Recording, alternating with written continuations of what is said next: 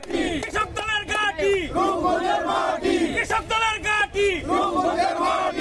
দিনের অহংকার আগামী দিনের রাষ্ট্রনায়ক জনাব তারেক রহমানের নেতৃত্বে তার ধারাবাহিকতা যেসব প্রোগ্রামগুলো হচ্ছে সন্ত্রাস মাদক বিরুদ্ধে তারই ধারাবাহিকতা আজকে রূপগঞ্জ থানা কৃষক দল নজরুল ভাইয়ের এবং মানন ভাইয়ের নেতৃত্বে আজকে যেই সভা হয়েছে এজন্য সবাইকে ধন্যবাদ জানাই এবং পাশাপাশি আপনারা জানেন বিগত আন্দোলন সংগ্রামে আমাদের কৃষক দল হাতে হাত রেখে গোলামবাড়ি খোকন ভাইয়ের নেতৃত্বে দীপু ভাইয়ের নেতৃত্বে, বাসিরুদ্দিন বাচ্চু ভাইয়ের নেতৃত্বে এবং কৃষক দলের সাধারণ সম্পাদক, জেলার সাধারণ সম্পাদক রিভাব ভাইয়ের নেতৃত্বে আমরা প্রত্যেকটা আন্দোলন সংগ্রামে কৃষক দল ঝাঁপিয়ে পড়েছে আপনারা জানেন, সারা বাংলাদেশে কেন্দ্রীয় কর্মসূচি অংশ হিসাবে আমাদের এই রূপগঞ্জ এবং নারায়ণগঞ্জে বিভিন্ন অঙ্গ সংগঠন বিভিন্ন সময় সভা সমাজ করেছে।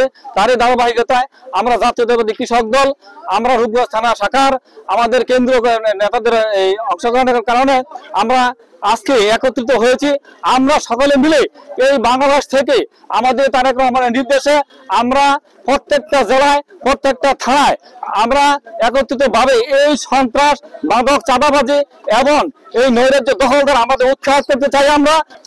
আমরা জাতীয় দেবী দল, আমরা সকলে মিলে আপনাদেরকে নিয়ে এই বাংলাদেশ স্বাধীনতা যেমন অক্ষরে রেখেছি তদ্রুপ আমরা আগামীতে এই দলকে আমরা সামনে নিয়ে আমরা সবাই একত্রিত হয়ে বাংলাদেশ জাতীয় কৃষক দল আপনাদের মাধ্যমে এই দেশ থেকে সন্ত্রাস, চাঁদাবাজ এবং দখলদারিত্ব আমরা। এই সভাপতি মাননীয় হুমায়ুন ভাই এবং আমাদের প্রাণপ্রিয় নেতা বাচ্চু ভাই, ওনাদেরও নির্দেশ যে এই রূপগঞ্জের মাটিতে যেন একটিও মাদক, সন্ত্রাস, চাঁদাবাজি না থাকে। তোমরা এই ব্যাপারে সবসময় সজাগ থাকবে।